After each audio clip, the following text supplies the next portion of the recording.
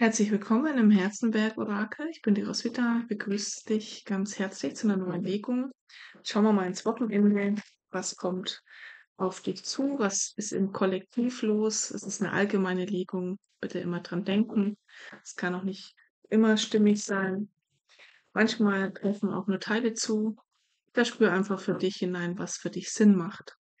Ja, wir schauen mit dem mystischen Tarot von Katrin Welz-Stein erst einmal so, was liegt denn oben drüber? Worum geht es an diesem Wochenende ganz allgemein? Okay, will auch noch. Es geht um Gerechtigkeit. Also da ähm, die Gerechtigkeit, da geht es um eine gut überlegte Entscheidung, das Gleichgewicht. Ähm, etwas kommt wieder ins Gleichgewicht und die fünf der Scheiben, die haben sich hier gezeigt. Also vielleicht bist du auch gerade so in einer kriseligen Situation, ähm, da da kommt wieder Gleichgewicht, ähm, Ausgleich rein. Ähm, da, ja, vielleicht nimmst du etwas in die Hand, beurteilst etwas anders. Ähm, es geht vielleicht auch um ein Urteil, um ähm, eine sachliche Auseinandersetzung mit dieser Krise oder diesem Mangel, etwas, was dir fehlt und ähm, es fühlt sich vielleicht auch nur so an.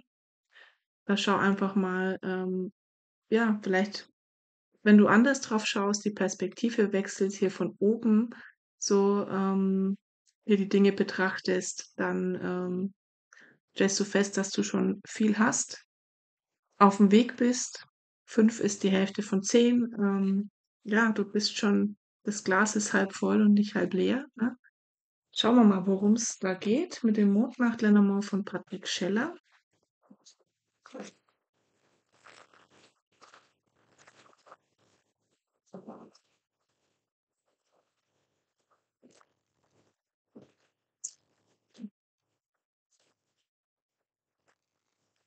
Vielleicht hast du das Gefühl, dass du immer nur gibst und ähm, ausgelaugt bist. Ähm, da ist auch wichtig, dass du da einen Ausgleich schaffst, dass das Geben und Nehmen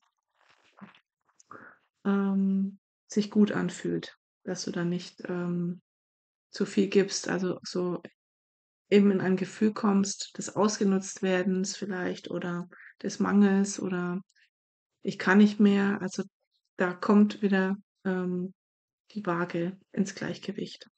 Schauen wir mal, worum geht's da?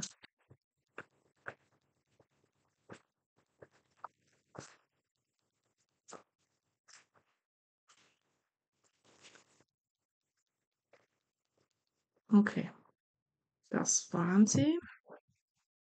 Wir haben die Schildkröte, den Buddha, den Engel und die Dornen. Ja, und dann heißt vielleicht hier, mach langsam, finde deine innere Mitte, komm zur Ruhe, ähm, du bist hier beschützt. Also es geht vielleicht auch darum, mal in dich zu gehen, zur Ruhe zu finden, zu meditieren oder geh in die Natur raus. Ähm, mach mal ein bisschen langsamer. Es ähm, zeigt sich hier auch, dass du dich vielleicht aufopferst. Ähm, die sind noch gestern schon gefallen. Dornen, ähm, ja, also achte gut auf dich. Ähm, das ist so grundsätzlich die Energie. Ja, vielleicht geht's ja um Stress, den du hast. Ähm, da ist Zeit, dass du dich um dich kümmerst, ähm, für dich was tust, dir selber das gibst, was dir fehlt. Und schauen wir mal, ähm, ja, dein privates Umfeld, worum geht's denn da noch? Der Stern. Ja, das Stern, da fällt mir gleich so das innere Licht ein. Da darfst du auch ähm, wieder zu dir kommen. Das ist eine Schutzkarte.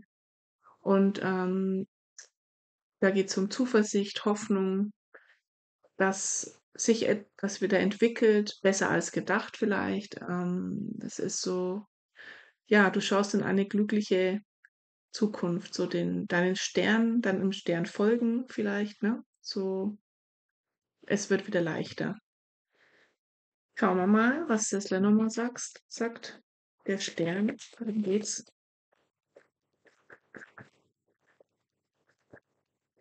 Die Eier. Okay. Da haben wir die Eier, das Auge, die Maus und die Waage. Also wieder Ausgleich, Harmonie, Gleichgewicht. Ähm, mit dem, den Eiern, die, da geht's um etwas Neues, um etwas, das wachsen darf. Es ist noch nicht ausgereift.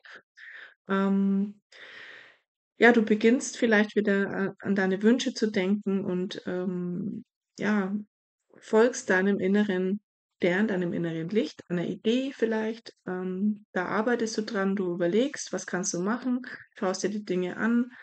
Ähm, die Maus hier, auf die du schaust, vielleicht sind das auch Ängste.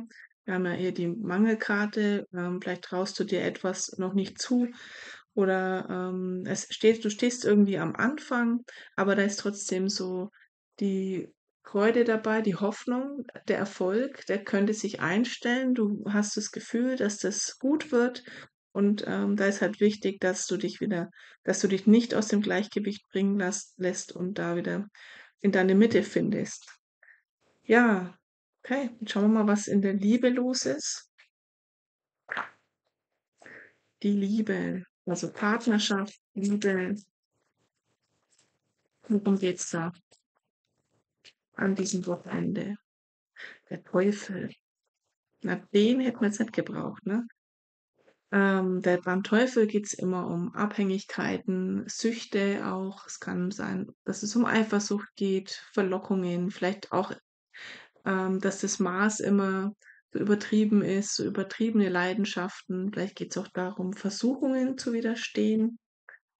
Am Unterdeck die Liebenden, also irgendwie ist es so ambivalent. Also da ist jemand, der, ähm, ja, vielleicht will der dich verführen oder d du fühlst dich so angezogen, ähm, aber irgendwie hast du das Gefühl, dass, ähm, es also es ist irgendwie äh verlockend, ja, vielleicht macht es dir etwas Angst. Also, es ist, glaube ich, ganz wichtig, dass du in deine Mitte kommst, deine innere Harmonie findest, weil wenn da noch jemand auftaucht, der dich so aus der Bahn wirft oder, ja, dich so beeinflusst beeinflussen kann, dann, ähm, ist doch wichtig, dass du ganz bei dir bist und, ähm, da nicht aus dem Gleichgewicht noch gerätst. Okay.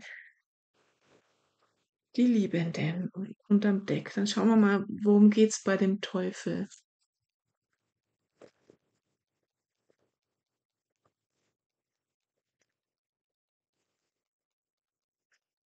Okay, Stapel ist gemischt. Da haben wir die Katze schon wieder, die war doch gestern auch da.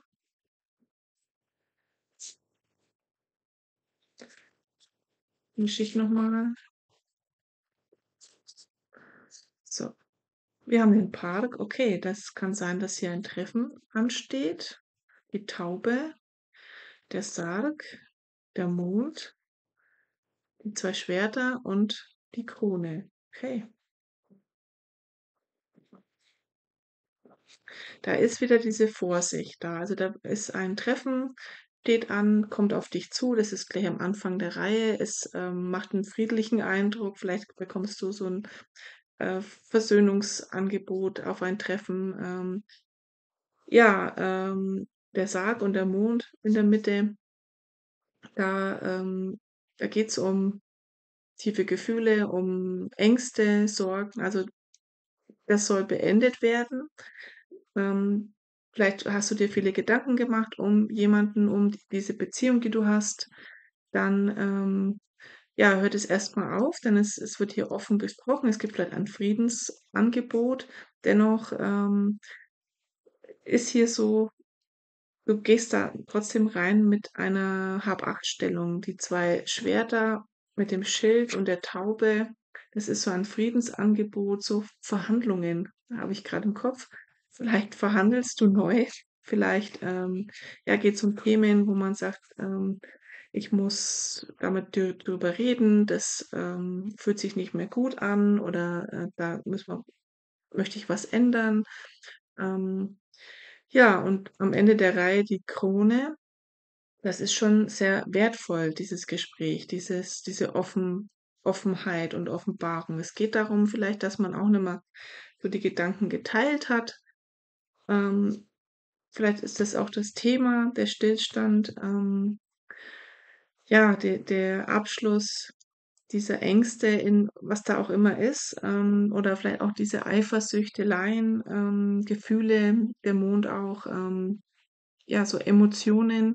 Der Teufel steht ja auch für Leidenschaft, für Eifersucht, für Verrat, ähm, ja auch so 'n bisschen Misstrauen und Machtkämpfe innerhalb einer Partnerschaft. Also, da bist du immer so vorsichtig. Das macht dann machen auch die 2 Schwerter hier mit dem Schild Sinn, dass du da halt, ähm ja, dich versuchst zu schützen. Ähm, es fängt aber an mit dem Park. Das heißt, man geht offen rein, man, äh, will friedlich da reingehen und sich mit dem Ganzen auseinandersetzen. Und es soll wieder geschmeidig werden, es soll, ähm, einfühlsam werden, ähm, und dennoch, ähm, soll es nicht in Abhängigkeiten oder Co-Abhängigkeiten, äh, enden.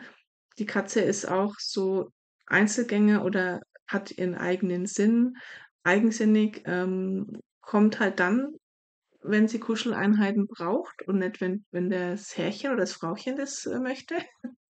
Ähm, dennoch geht's halt darum in der Partnerschaft, dass man trotzdem noch jeder für sich steht und, ähm, nicht nur als Paar sich fühlt.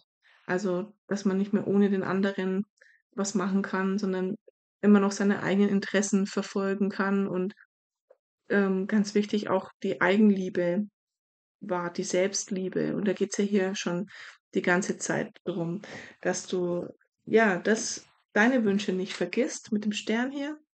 Ähm, wenn wenn da neue Ideen kommen, darfst du die weiterentwickeln und ja, vielleicht kann man sich da auch miteinander unterhalten, wenn du in 'ner Partnerschaft bist, wenn das deine Legung ist, wie man damit umgeht. Ähm, und da ist ja auch wichtig, dass der Partner hinter einem steht und da einen unterstützt. Sehr schön finde ich halt die Liebenden am Unterdeck. Also, da geht's schon darum, um 2, die da miteinander den Weg gehen und, ähm aber dennoch, du schaust diese Legung und es ist wichtig für dich, dass du dich selber nicht vergisst, egal wie verliebt und, ja, wie verbunden man ist. Okay. In diesem Sinne wünsche ich euch ein schönes Wochenende. Lasst mir gerne 'n Like da oder 'n Kommentar, da freue ich mich und wir hören und sehen uns beim nächsten Mal. Tschau, tschau.